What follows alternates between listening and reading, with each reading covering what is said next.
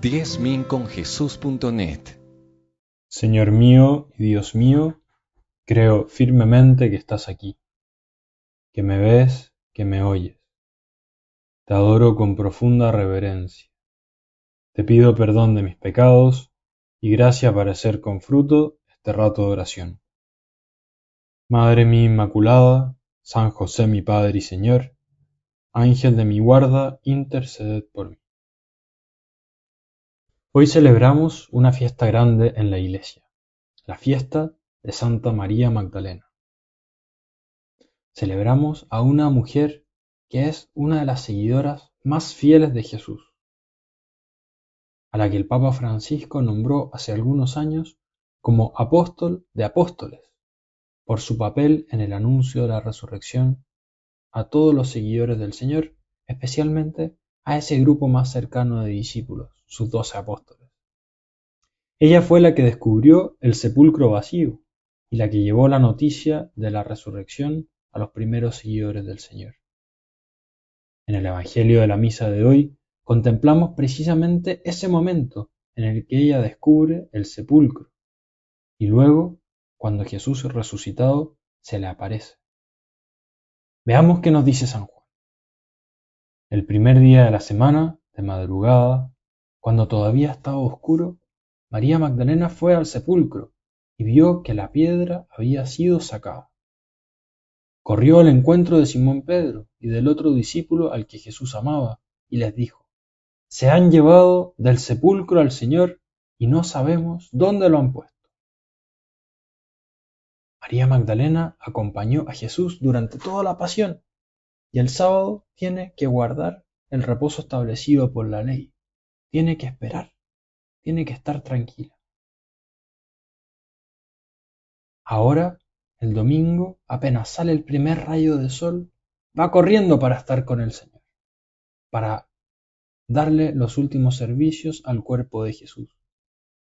Pero su sorpresa es muy grande cuando descubre que el cuerpo de su Señor no estaba en el sepulcro. Jesús no estaba ahí.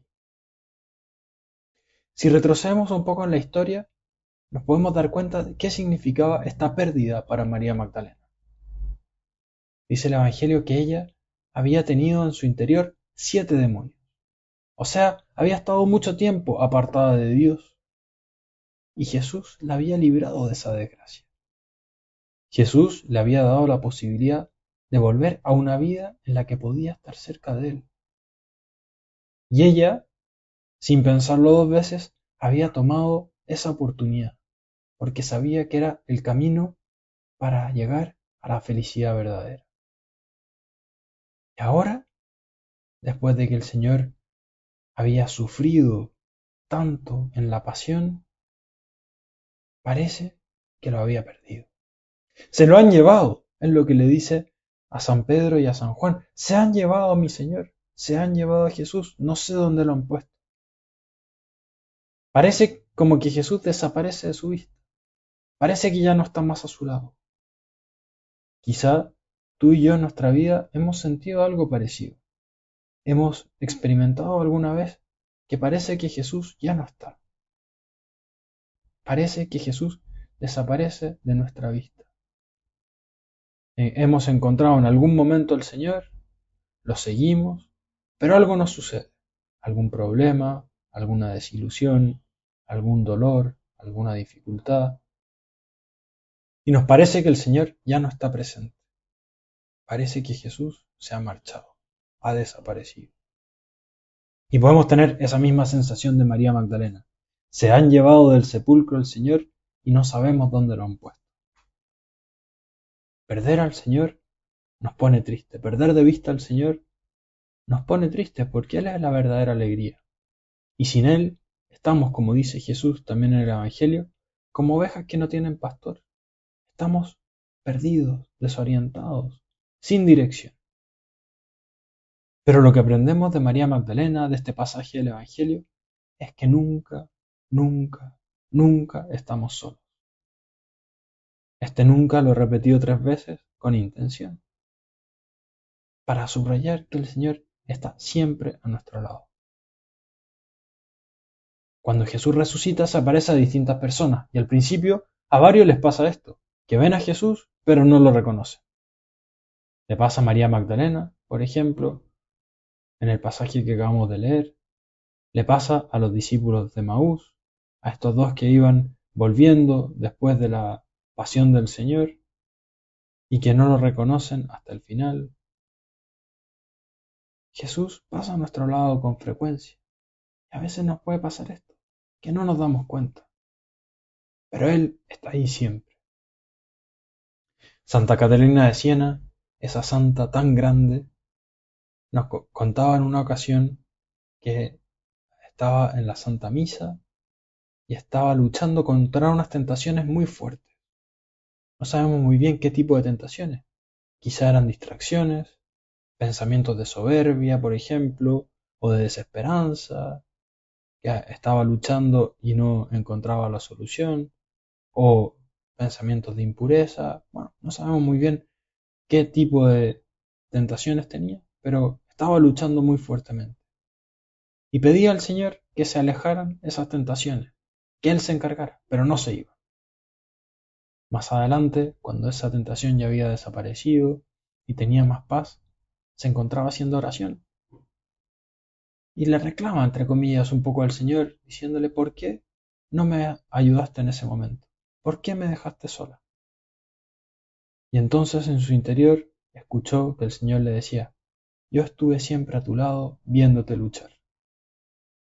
A veces parece como que el Señor se escapa, pero como experimentó Santa Catalina, como experimentó María Magdalena, podemos descubrir al Señor. Y lo descubrimos cuando interviene, porque Él interviene siempre que lo necesitamos. A veces de la forma más extraordinaria.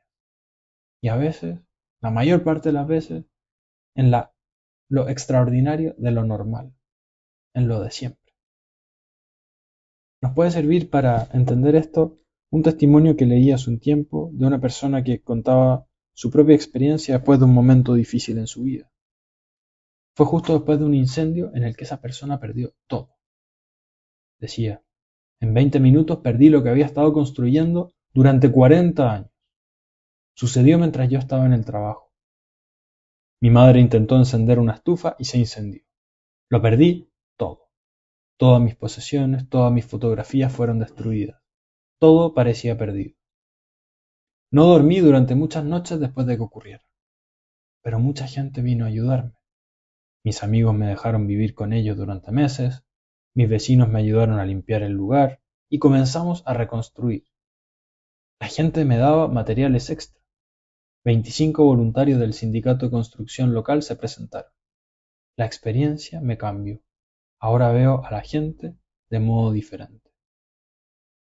El Señor se hace presente a veces de estos modos que por lo extraordinarios son normales o por lo normales son extraordinarios. No sabemos cómo decir.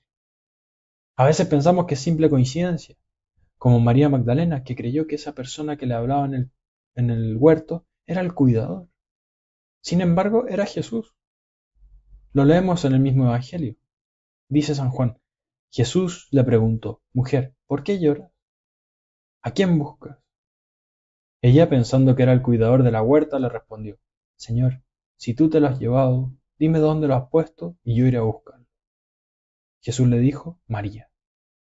Ella lo reconoció y le dijo en hebreo, Rabboni, es decir, maestro. Al principio parece que no lo reconocemos, pero después de un rato vemos que es Él. Lo mismo le pasó a los discípulos de Maús, que lo reconocieron cuando él partió el pan. Jesús, ahora que estamos terminando estos diez minutos de oración, te pedimos que nos ayudes a darnos cuenta de que siempre estás a nuestro lado y que nunca debemos desesperar de tu ayuda y de tu compañía. Te pedimos que nos ayudes a que cuando nos sintamos solos, nos acordemos de María Magdalena, que te buscó, te buscó, te buscó hasta que te diste a conocer, hasta que te encontró. Nunca perdió la esperanza de que tú estabas por ahí. Jesús, tú eres mi amigo, mi hermano, el que más me quiere, y sé que nunca me dejarás solo, aunque a veces me sienta así, aunque a veces me sienta abandonado. Te pido que me ayudes a reconocerte en las cosas ordinarias de cada día y a experimentar tu compañía en todas mis actividades. Te lo pido por la intercesión de María Magdalena y de nuestra Madre Santa María, que también está siempre acompañando. Te doy gracias, Dios mío, por los buenos propósitos, afectos e inspiraciones que me has comunicado en esta meditación. Te pido ayuda para ponerlos por obra. Madre mía Inmaculada, San José mi Padre y Señor, Ángel de mi guarda, interceded por